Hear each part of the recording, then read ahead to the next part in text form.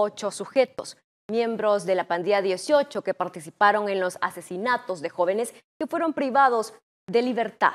Las detenciones son el resultado del trabajo articulado que realizan las instituciones del gobierno con la Fiscalía General de la República. Veamos. Estos sujetos son catalogados como peligrosos delincuentes, que ahora serán puestos tras las rejas por haberle quitado la vida a dos jóvenes el pasado mes de diciembre. Y están siendo puestos a disposición de la justicia, primeramente de la Fiscalía y posteriormente al órgano judicial, para que enfrenten la justicia por los delitos de privación de libertad y homicidio agravado. Como parte del trabajo de investigación del Plan Control Territorial que desarrolla la Fiscalía y Policía, se logró dar con los responsables de la desaparición y posterior asesinato de los jóvenes.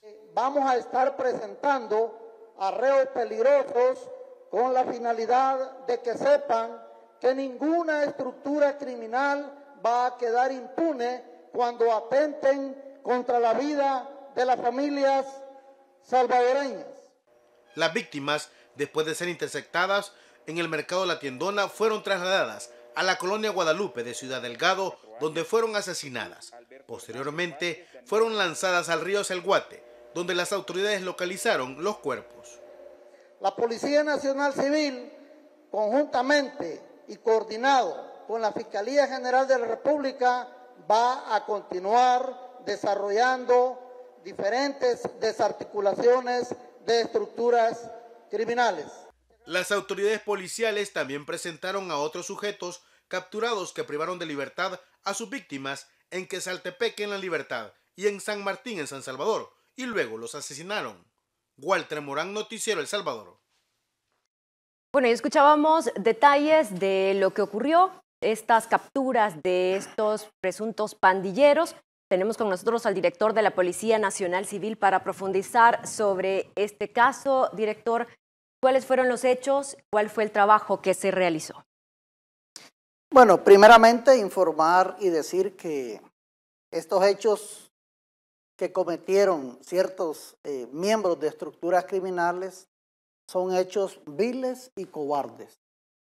Y digo viles y cobardes porque al observar esas escenas, eh, ver esos eventos, eh, la verdad es que como seres humanos, como policías, nos podemos preguntar cómo existen personas que, que realmente no tienen ni lo más mínimo de lo que es el valor a la, a la vida humana.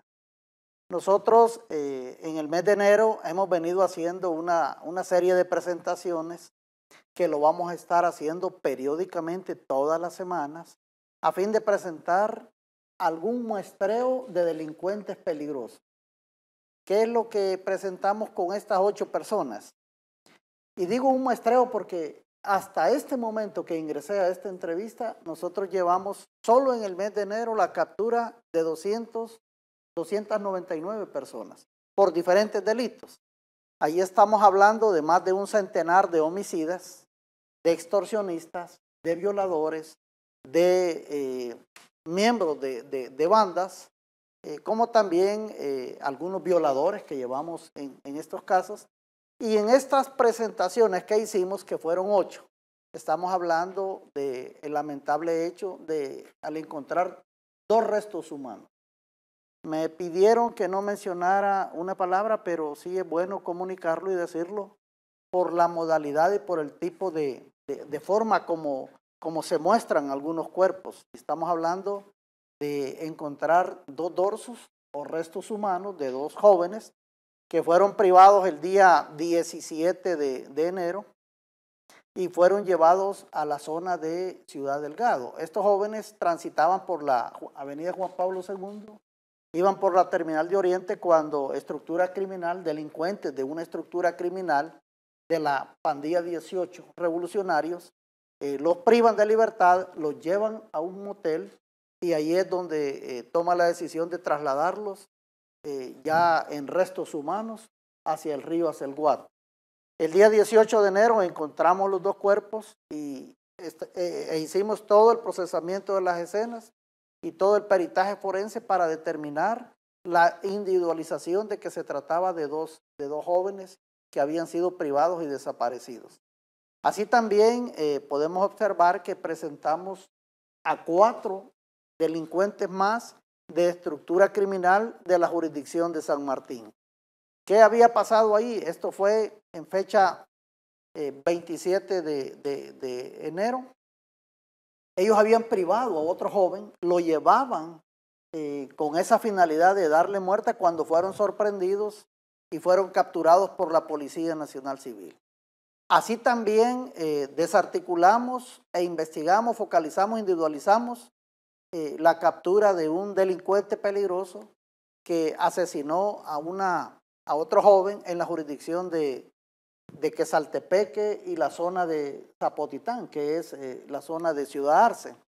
Este es un caso eh, lamentable también, porque ahí se da el delito de privación de libertad y es acompañado directamente, eh, posterior a su asesinato, lo, lo, lo tira prácticamente al interior de un pozo. En este muestreo, como lo decíamos anteriormente, nosotros que lo vamos a estar haciendo periódicamente, lo que mostramos son algunos reos peligrosos. Eh, no quiere decir que, hay otros ahí que están en meta y que también los vamos a seguir presentando eh, para que la población también sepa que estas personas, eh, cada vez que toman las decisiones de cometer este tipo de delitos, que la Policía Nacional Civil, conjuntamente con Fiscalía General de la República, el apoyo de la Fuerza Armada, el Gabinete de Seguridad y los lineamientos que tenemos en base a las actividades del Plan Control Territorial, los vamos a investigar y vamos a procesarlo y los vamos a poner a la orden de la justicia.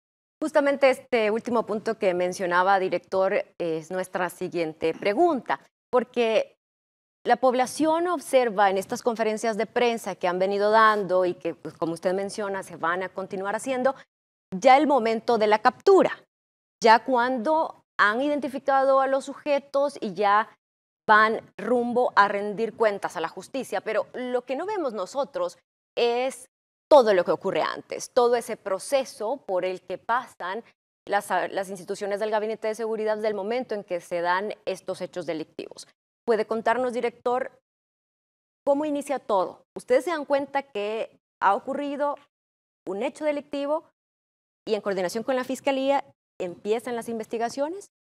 Sí, hay, eh, hay protocolos de actuación. De acuerdo. Quizás no voy a entrar en detalles, pero sí voy a dejar la, la idea central para que, para que también la población se pueda apoyar con la institución policial, con la fiscalía y que tenga confianza de que si los casos se denuncian, nosotros los vamos a, a investigar y los vamos a poner a disposición de la justicia. ¿Qué pasa cuando hay una privación de libertad como los casos que nos ocupan? cuando la familia denuncia de que su familiar ha desaparecido, eh, echamos a andar lo que nosotros le llamamos el protocolo o el prontuario de actuación policial. ¿Qué quiere decir? Se recepciona la denuncia, posteriormente se notifica a fiscalía, se realizan actos iniciales de investigación con la finalidad de poder eh, ver que esa denuncia reviste todas las características o fundamentos legales para poder eh, verificar, para poder ver detalles, inclusive el patrullaje digital que nosotros le estamos llamando en este momento, que es el trabajo de las redes sociales.